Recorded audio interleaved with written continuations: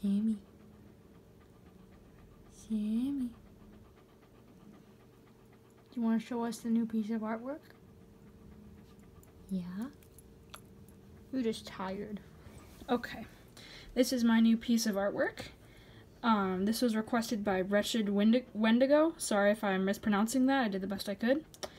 And um, it's a picture of Lizard slash Freedom, basically um, around the throne with Cottonmouth in it. It's when they're not in the mind space, so they're kind of surrounded by vines. However, though, I did not make it as gory as it really should be. In the um, books, is described as Cottonmouth, literally flesh with plants going through his skull. So I just made him a skeleton, and then Lizard is just there with hollow out eyes.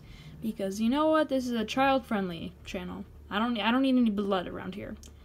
Uh, note that is not blood on the plants. That is just the red that I would think that the plant would have.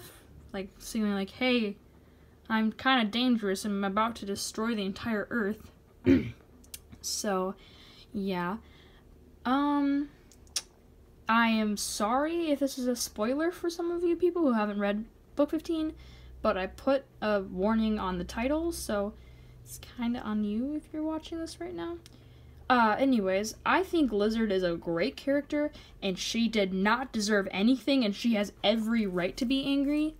And Cottonmouth just sucks and kind of ruined scavengers for me. Well, I mean, it, it kind of ruined humans for me, so I might as well just isolate myself with my dog then now. I'm sorry, she's really tired. Anyways, uh, I hope you guys enjoy this, and uh, subscribe for more videos. Alright, see ya!